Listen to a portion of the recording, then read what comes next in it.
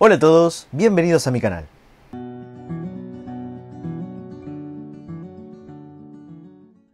Hoy les traigo el video, en este caso, de unas compras que hice en Zara. Y bueno, quiero compartir con ustedes, a ver que me parecen totalmente a ciegas. Bueno, tengo acá la caja, voy a tapar la dirección, eso sí.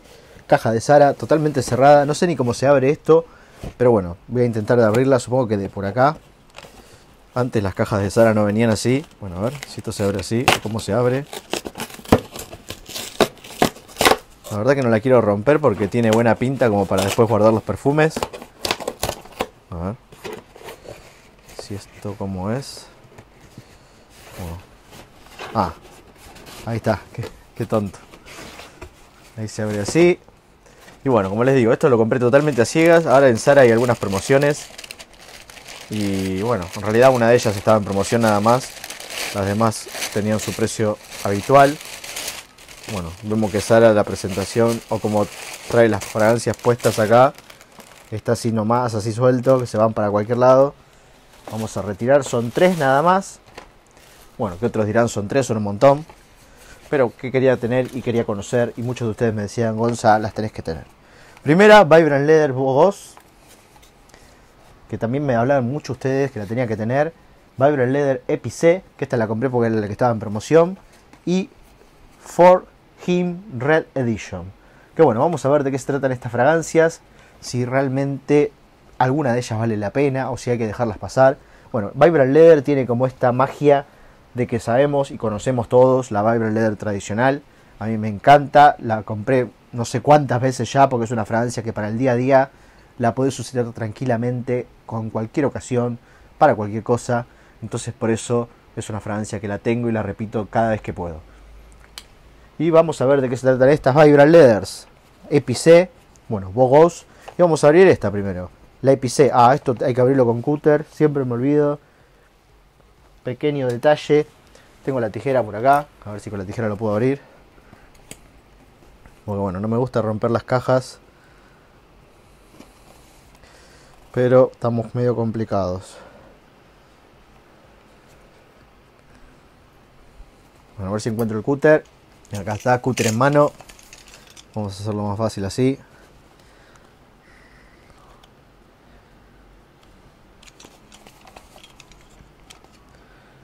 Bueno, yo soy de guardar todo en cajas, por eso no me gusta eh, estropearlas o romperlas, porque los perfumes se preservan mucho mejor si uno los guarda en caja. La verdad que esto que hicieron los de Sara, la verdad que un desastre, no sé por qué lo guardan así.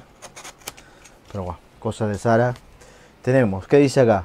Según lo que dice acá, bueno, es una esencia de emociones, sensual, con especias.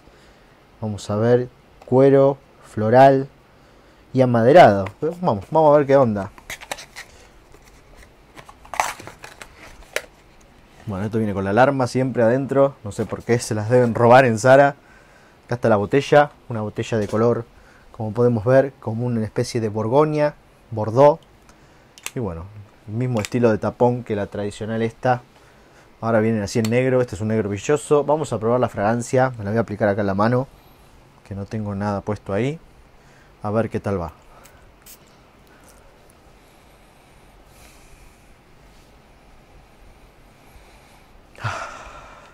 Mira, así de primeras impresiones te digo que es una fragancia que no me vuelve loco. Tiene el ADN de la Vibrant Leather, se le siente tranquilamente acá. Floral, justamente. Un Vibrant Leather floral.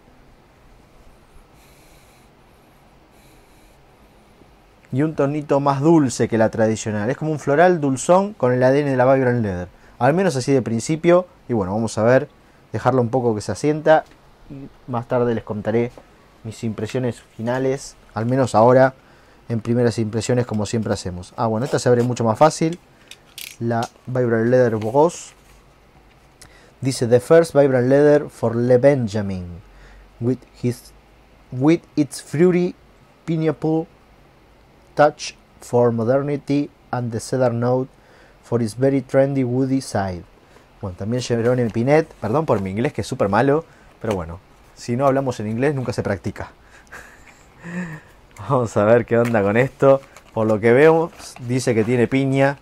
Bueno, otra alarma más por acá. Pum, fuera alarma. Botella color azulada con letras medio entre verdosas. Sí, es un verde o amarillento. No sé por el tema de la luz, capaz que me lo distorsiona un poco. Pero bueno, vamos a probar esta del otro lado. A ver qué onda.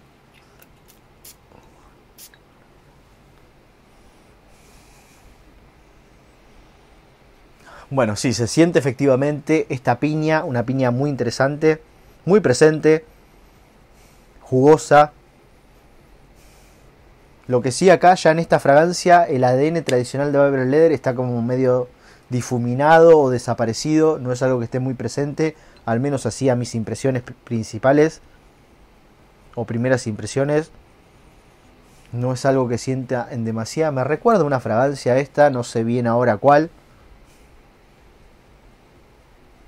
Pero me trae un recuerdo de algo que yo ya conozco o que ya usé en algún momento.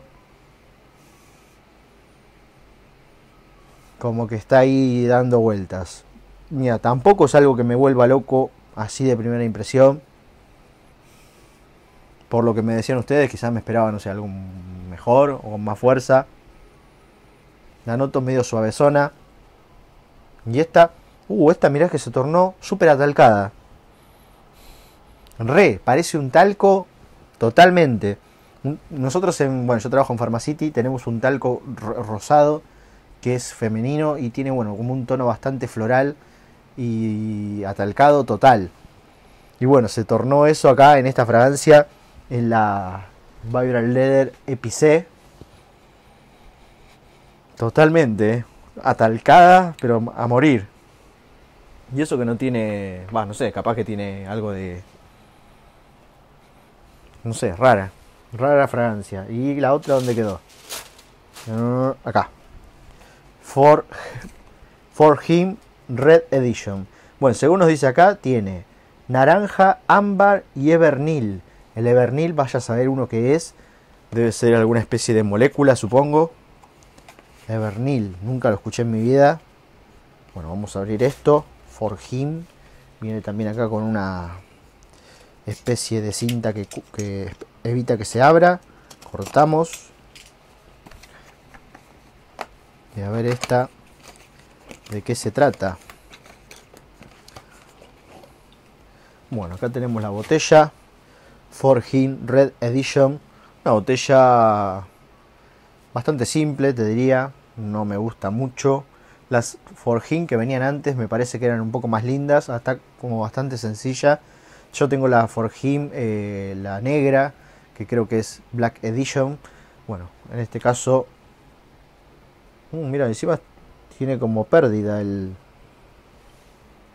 el atomizador. Está mojado. Acá también. Bueno, no se llega a ver obviamente en cámara. Pero sí está mojado. Pierde. Y hasta tiene color. Mira, parece sangre. Bueno, vamos a probar. ¿De dónde probamos? Vamos a probar acá. Ah, bueno, lo que tiene color es que se destiñó seguramente lo que es el tapón. Porque si uno lo ve acá aplicado en la piel no tiene color. Y fíjate si no se nota el dedo. Bueno, me quedó, de color eh, rojizo. Así que una desgracia si esto pierde. Habrá que hacer el reclamo en Sara. O no lo hago, después veremos. Vamos a ver. Bueno, mira, esto es una fragancia muy dulzona. Sí, tiene la salida de esta frutal, pero no es una naranja bien definida. Lo que sí te puedo decir es que es muy dulce, tiene como caramelo, súper cargoso. Y mira, también me esperaba más. Yo tengo, bueno, escuché por ahí que dicen que se parece a Baccarat Rouge. Baccarat Rouge, la verdad que no la conozco, no la probé nunca. Pero sí tengo una fragancia de Sammy Andraus, el reseñador, que me hizo llegar hace un tiempo atrás. Que bueno, decían que esa se parecía a la. también justamente a Baccarat Rouge. Y te digo que me parecía mejor aquella otra. Esta como que la veo bastante indefinido el aroma. Es como un caramelo un poco tostado. Con esa naranja de la salida y bueno, un toque ambarado. Realmente no, no me parece un gran un gran aroma o algo que, que resalte mucho. Vamos a probarlo de nuevo acá para que le saco la alarma.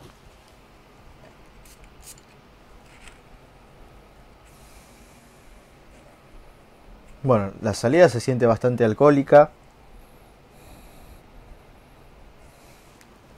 Y poco a poco sí se torna como este caramelo apenitas como, ¿cómo te puedo decir? No quemado, pero bueno, que se está cocinando. Mm, no me pareció la gran cosa. Bueno, tendremos que ver, la tendré que probar más en detalle. Obviamente dejarla pasar un tiempo, hacer las reseñas, las pruebas y bueno, confirmarles ahí en la reseña final qué me parece la fragancia, si me gusta, si me parece un gastadero de plata al, al pedo, como se dice acá en Argentina, o al divino botón. No me parece la gran cosa, ¿eh? Al menos esta, la Forgim Red Edition, es la que menos me gusta. Te diría que las Vibrant Leather, tanto la Bogos como la Epicé, me parecen un poco más, más ricas, acertadas. Tampoco la gran cosa. Y acá quedó súper, pero súper atalcada. Es una cosa de locos. No sé si a alguno de ustedes le pasó. Pero sí, es como un talquito acá acompañándonos, rico, ¿eh? no es que fea fragancia, pero es como un tal, atalcado, como si tuviese puesto talco en la mano, como si me hubiese tirado un talcazo ahí en la mano. Bueno, totalmente. Y este lado tenemos este tono frutal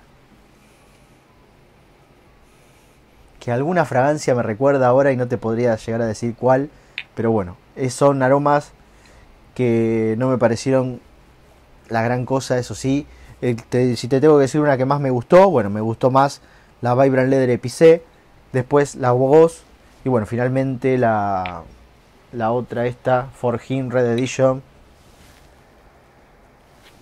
Te tengo que decir que no es algo que me haya... No sé si lo voy a usar. Realmente, para ser sincero, te lo tengo que decir así.